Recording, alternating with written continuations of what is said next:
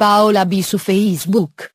7 dicembre 2016 alle ore 21.02. Lorenza Ricchiuti, deputata PD. Sono appena tornata dalla direzione del mio partito. Una farsa. Ha spaccato il paese in due e parla di PlayStation. Decine e decine di persone arrivate a proprie spese da tutta Italia.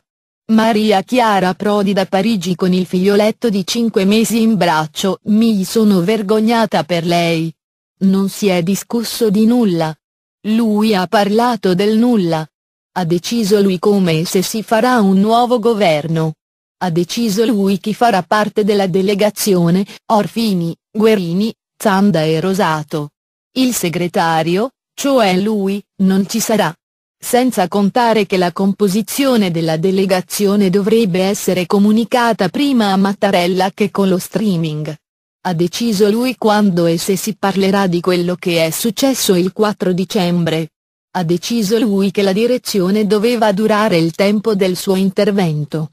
Ha deciso lui che non ci potessero essere repliche. Hanno impedito a Tocci di parlare, stava imbastendo un ragionamento ma non ci è riuscito. Fine della storia. Che cos'è rimasto di democratico in questo partito?